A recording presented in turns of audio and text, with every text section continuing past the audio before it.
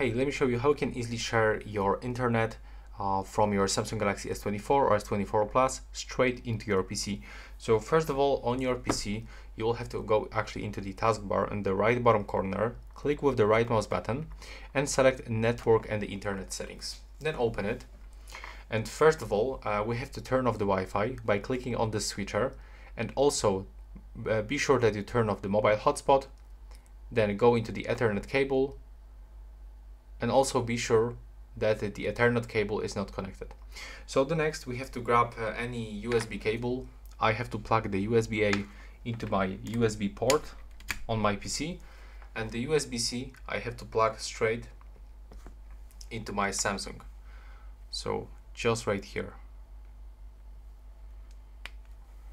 Now I've got uh, information on my PC that I'm connected and now from this I will have to open this bar find the USB for file transfer, click on it, and now select USB tethering.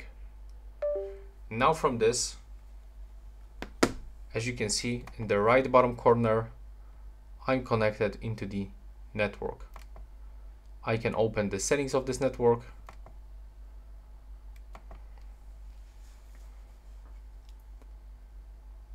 There we go. As you can see, I'm connected and I can open the browser, for example, the internet. Oh, that's actually the Microsoft Edge. And let's op open, for example, the YouTube. There we go. So as you can see, everything is works, everything is working, and that's all right now. Please subscribe to my channel and see you in the next one.